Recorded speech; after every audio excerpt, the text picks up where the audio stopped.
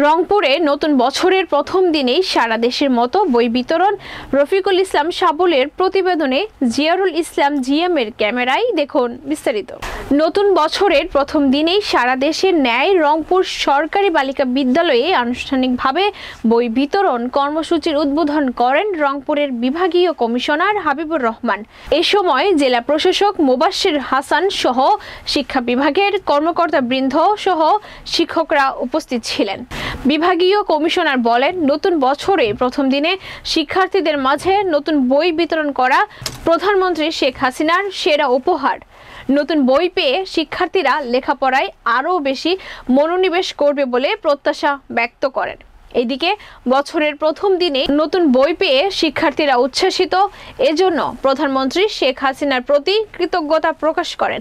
রংপুরের জেলা শহরের পাশাপাশি আমাদের প্রতিনিধি মফস্বল এলাকায়ও নতুন বই বিতরণে নতুন আমেজ দেখতে পান।